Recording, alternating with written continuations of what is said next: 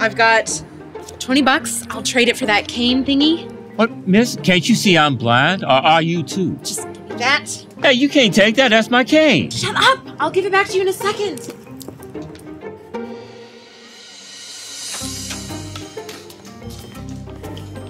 I knew there'd be a line. Good morning, ma'am. What would you like today? Hi, can I get a 12 ounce latte with oat milk and added cinnamon? One oat milk latte coming right up.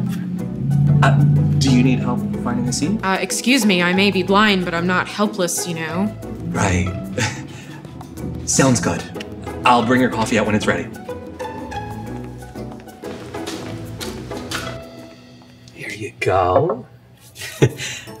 hey, are you busy for a quick chat? I am busy, thank you very much. Oh, I was actually going to introduce you to someone. He's kind of a big deal around here. And who might that be? I'll bring him over. Just give me a second. Trust me, you're gonna love him.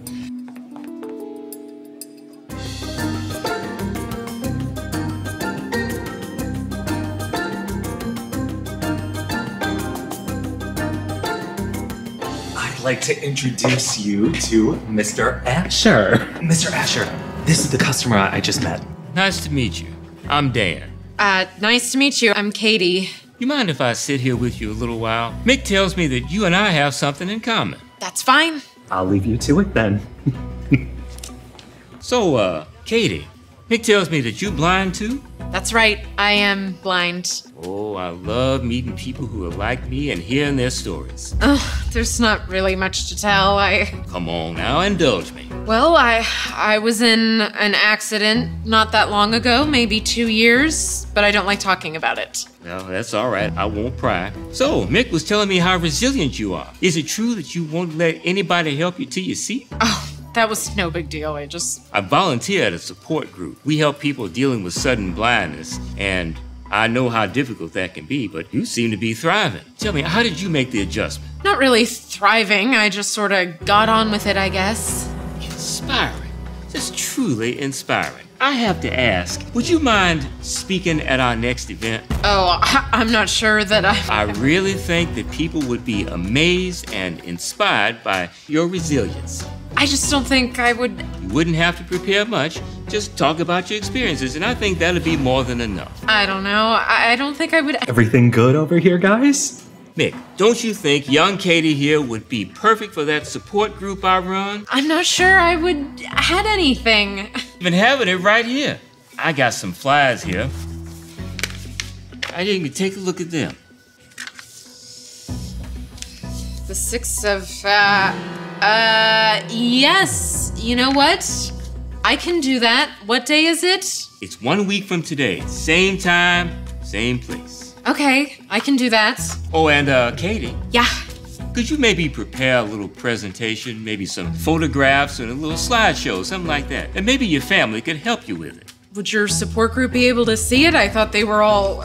Blind? No, no, not all of them. But I'm sure that they would really appreciate the gesture. Great, thanks. See you then.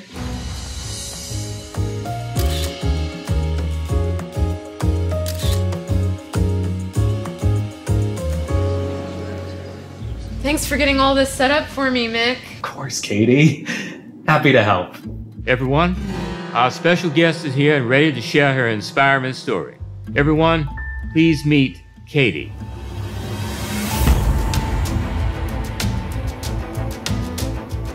I may be blind, but Mick here can see perfectly well. And I have a knack for remembering voices. You were outside. You stole my cane. Um. You can see? Yes? You mean you've been pretending to be blind this whole time? I. I, I That's just. sick.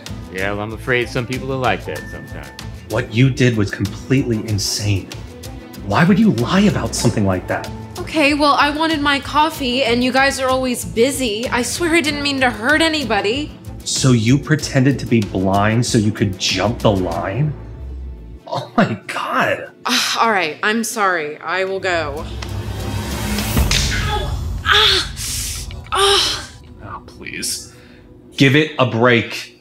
No, please. I think my leg is broken. Can somebody call an ambulance? If you're looking for sympathy, you won't find any here. Now get up and stop disturbing the other customers. Oh. Hold on, Mick. I don't think she's faking. no, look, I told you. Hang on. What is it? What leg is it? Oh, my shin, I think. Can you move? I don't know, it really hurts. Okay, so you want us to call an ambulance? Please. Call an ambulance. Hi. Yes, I need an ambulance. Carl's Coffee and Cakes on Florence Street. Broken leg, apparently. Okay, thank you. We'll be here as soon as possible. Thank you. I hope you learned from this. What? After what you did today, I almost didn't believe you were actually hurt. And you know why? Why? Because lies are never believed, even when they're telling the truth. Remember that.